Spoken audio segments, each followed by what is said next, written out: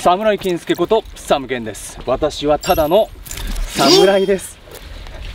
はい、ということでですね、えー本日なんとですね2022年の4月の1日にオープンしたばっかりのはい、ラスティックフィールドさんというですねキャンプ場にやってまいりました。はいそしてオーナーの松原さんとよろしくお願いします。えーワンちゃん自己紹介いいですか？えっ、と11歳の茶芝のクーちゃん、くんクーちゃんでこの子はあの愛護センターから保護してきてちょっと怖がりなんだけど、ああ確かに。うん、あの黒芝のあずきちゃん、女あの子。ずきちゃん。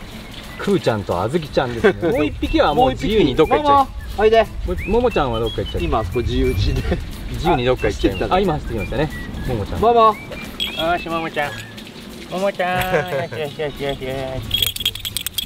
よしよし、かわいいな。こうだねちょっと戻って。お前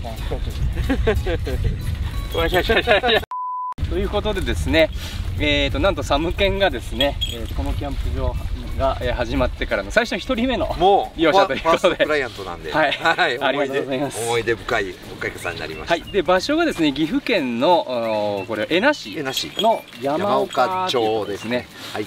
で今そこのあの山岡の自分があの、えー、Y になりましてね、えーそえーそこ天岡って書いてあるんですけど そこで、えー、なんとで山岡なんだろうってみんなに言われるんですけどね、はい。山岡の Y を一文字でこうやって。Y にやってもらうと山岡って読めるようにあえて Y を入れてません、はい。で一応ここがですねインスタ映えするねスポットになってますのでね。なればいいかなと。はい。なんで来られた方はぜひこぜひ。こでこう Y をね全力の笑顔でこう やっていただければと。よろしくお願いいたします。はい。でこちらの水車が非常に、まあ、印象的ですけどこれってご自身でやられたんですか？いやこれあのこれもあの長野県の潰れた木工所からね、はい。あの処分するっていうところをはいはいはい。レスキューしてきて、あ。こんなものをやっぱり捨てるとかい処分するのもったいないなと、トラック乗って長野県までレスキュー。長野県から処分されるところをレスキューされたそうです。移設。ー。した水車で。でまあ見ても分かるようにこれはもう山からの一番水で水が流れてるんですが、ちょっとねちゃんと水を流して水車としての役目。ただその木工所に置いてあった時はただディスプレイで周りもせずに置いてあるっていう状況はいはいなのではいはい。やっぱりあの水をちゃんと流してあげて、あの水車としての役割をちゃんと果たしてあげれるよえー、だからこれずっと回り続けますもんね、そうだね。えー、と発電とかはしてないんですよね。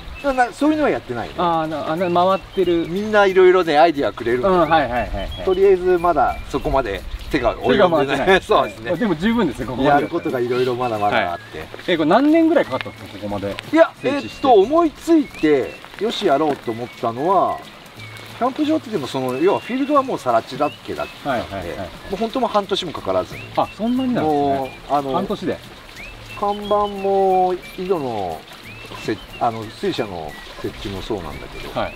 別のバイカーの YouTuber さんが撮影来るからってはい言って、はいはい。ちょっとバイた方がいいかなと思って。あそれで作ったんですか？うん急遽持ってきたっていう、しかもですねここ、まあ、名古屋から車であの1時間ちょっとだね。10分とかうん。それぐらいですね、そう。でちょまあ名古屋駅出発できたんですけど1時間10分ちょっとだったんでそうですね。で高速降りて20キロ弱ぐらい下道そうなんでね。まあ非常にアクセスしやすい場所かなという感じですね。もちろん空気がきれいで水もきれいで。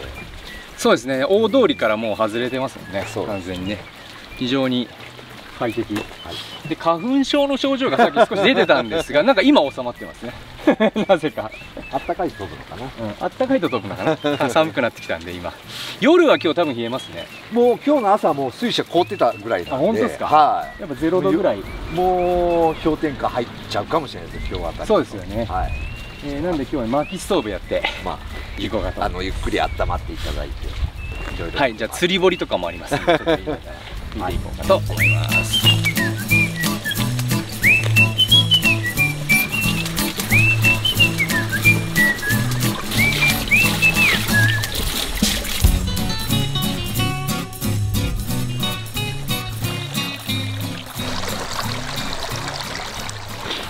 はい、そしてこちらのですね、池がですね、えーなんとですね、ここで魚釣りができる池になっております。で、魚はですね、養殖場から仕入れているそうなんで、えー事前にまあ予約をしていただければ、えー魚釣りをして、で、川魚とかですね、え食べることが可能だそうです。はい。そしてこちらにですね、水場があるんですけども、えこちらの水道、なんとですね、地下水だそうで、で、ちゃんとあの水質のね、検査もしてあるということで、普通に飲料水として使える非常に綺麗な、えー水になっております。はい、そしてこちらがオーナーのですね、えー松原さんのかっこいい、この軽トラを改造したそうなんですけどね。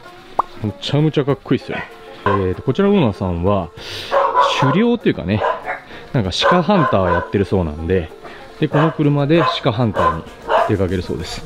しかもね、タイヤね、ちょっとわかる人にはわかると思いますけどね、えっ、とね、東洋のオープンカントリーのね、RT っていうね、まあ非常にあの、あの、ダートの道とか岩の道でもね、走破性のあるいいタイヤを履いてるようでございます。